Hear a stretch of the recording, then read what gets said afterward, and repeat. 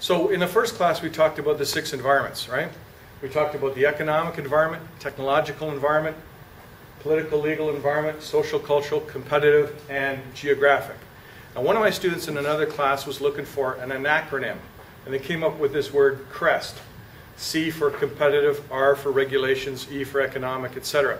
And I said, CREST is only five letters. We need six letters. We need something to include the G for geography or W for weather. So what I want to do is have a little competition among my different classes this September 2012 for you guys to use your brains to come up with an acronym of six alphabet letters that can be used to represent the six words of those different environments.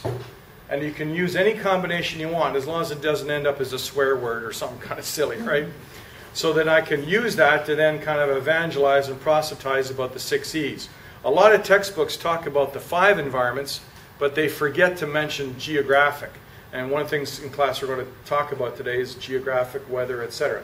So that's a little competition. Whichever class comes up with the best six letter word that we end up using, I'll give you pizza for everybody in the class. How does that sound? All right?